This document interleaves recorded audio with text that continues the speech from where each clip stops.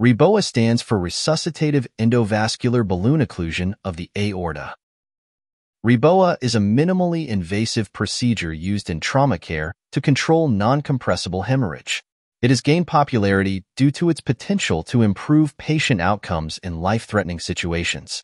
This lecture aims to provide medical professionals with a thorough understanding of REBOA, its procedure, clinical applications, and future directions.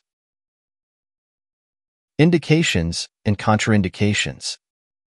REBOA is a technique that involves the insertion of a balloon catheter into the aorta to temporarily occlude blood flow.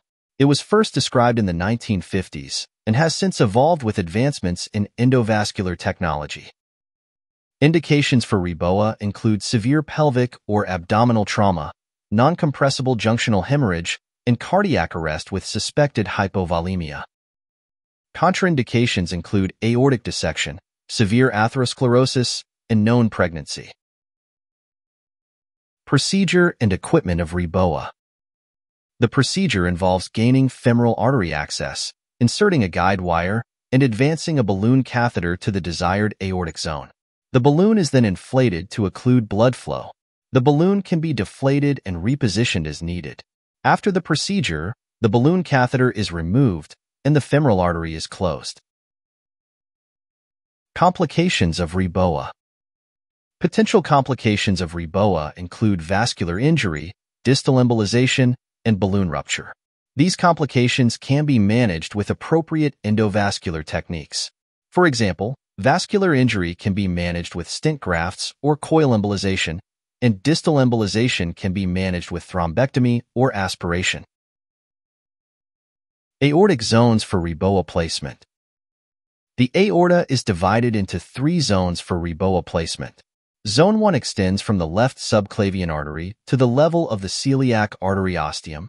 Zone 2 extends from the celiac trunk to the most caudal renal artery, and Zone 3 extends from the most caudal renal artery to the aortic bifurcation. These zones are crucial for determining the appropriate placement of the REBOA catheter during trauma care to control hemorrhage. Clinical applications of REBOA REBOA has been shown to be effective in controlling hemorrhage in various types of trauma, including pelvic and abdominal injuries. It can be used as a bridge to definitive surgical intervention or as a definitive treatment for junctional hemorrhage. Compared to open aortic cross-clamping, REBOA has been associated with lower rates of complications and improved patient outcomes. Future directions and innovations. Ongoing research is focused on refining REBOA techniques, developing new devices, and exploring its potential applications in non-trauma settings.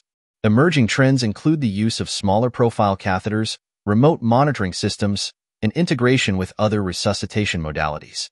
Potential areas for improvement include the development of more user-friendly devices, improved training programs, and better patient selection criteria. Take-home message. In conclusion, REBOA is a crucial resuscitation technique that has revolutionized trauma care. REBOA is a valuable tool in the management of severe trauma, offering the potential to improve patient outcomes and reduce morbidity and mortality. Medical professionals should stay updated on REBOA practices and consider incorporating it into trauma care protocols. As with any advanced resuscitation technique, appropriate training and experience are essential for successful implementation.